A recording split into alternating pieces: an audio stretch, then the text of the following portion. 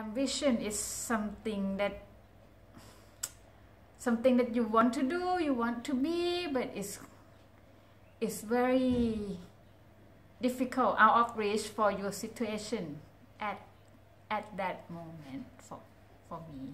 Yeah. So, are you ambitious? No, I don't think I am. No.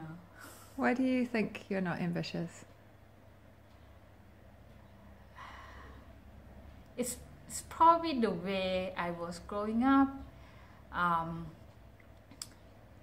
we my parents were just like working um, ordinary working family so we we just take things as as it it comes so like they they all have pretty much the same job all all their life.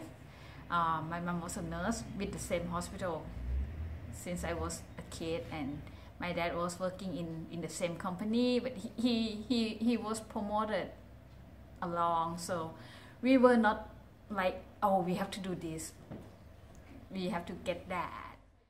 I think i'm, I'm more like taking the the best opportunity that comes at the moment yeah.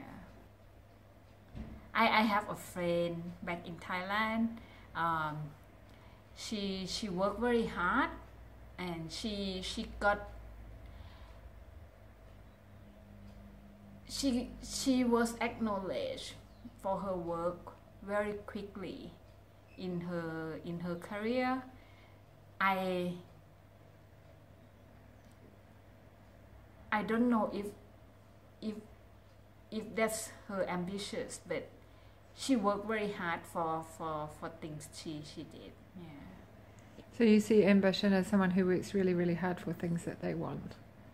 yeah Yeah. yeah if you if you don't go for it then it's just a dream